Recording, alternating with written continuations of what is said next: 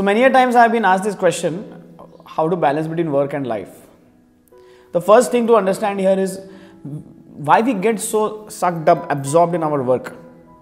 You know, we get carried away with it because we have some very high expectations about some getting some great satisfaction out, out of our job.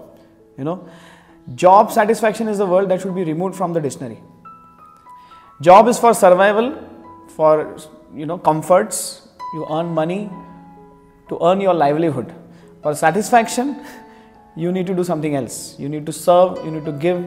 You need to meditate. You need to have good company around and wisdom and knowledge about life, understanding about life. That is what gets real satisfaction in life.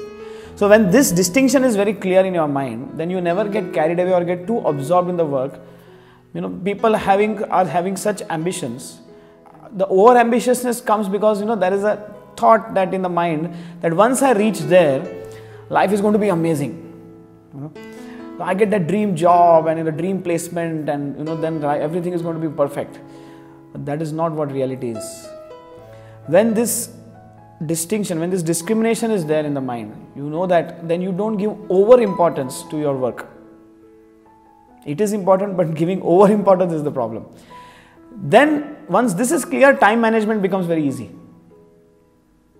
Then, when you are in work, you are giving your 100% there, but you are not getting emotionally carried away with such great expectations of having a you know a dream come true kind of etc etc you know in every profession uh, even if you are following your passion or anything like that, it is this is all overhyped statements, huh? uh, overhyped concepts. Following my passion and all these things.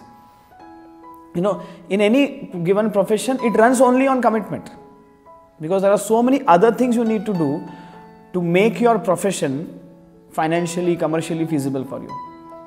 So if, if there's a painter, he's not like painting in bliss all all day, life all day, and there is money coming in his bank. He has to do so many other things to make his profession commercially viable. And that is what needs commitment. So ultimately, to be happy in life, to be satisfied in life, you need something other than your profession. Uh, that is not going to give you everything. You need to be socially active, you need to take responsibility for the country, for the planet, for the environment, and do something about it. And that is what is going to get real satisfaction in life.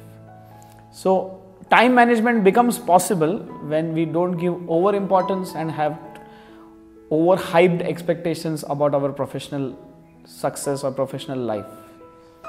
Everything has its place in life, and then you will take time out and not give excuses to also have a life outside work.